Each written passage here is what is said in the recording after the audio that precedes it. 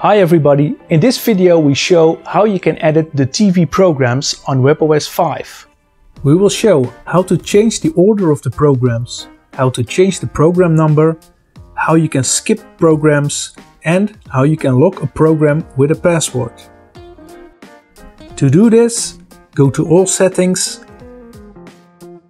Programs, select Program Manager and then Edit all programs. Here you can see the list with the TV programs after you have done the tuning on your antenna, cable or satellite signal. To change the order of the programs, select one or more programs in the list and then select Move. Then use your Magic Remote to move the programs to another position. Use the scroll wheel to move up and down in the list. Then press the scroll wheel to put the programs on the new position.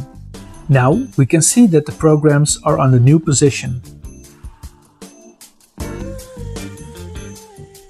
To change the program number, select the program, then select Edit Program Number, and then enter the new number.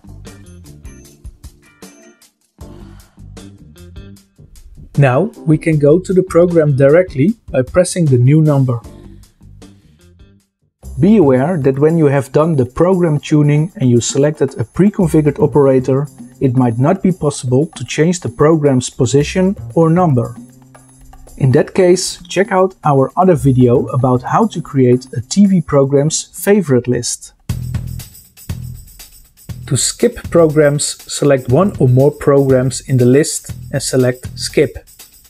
When we now go through the program list, these programs are skipped also, the skipped programs will not be shown when you press the list button on the Magic Remote. To restore skipped programs, select one or more programs and then select Restore. To lock a program, select the program in the list and select Lock. Enter the current password. By default, the password is 0000. When you use this function for the first time, the TV will ask you to switch on the safety function. Select Yes. To change the password, go to All Settings, go to General, Safety and select Reset Password. First enter the current password, then enter the new password and again to confirm the new password.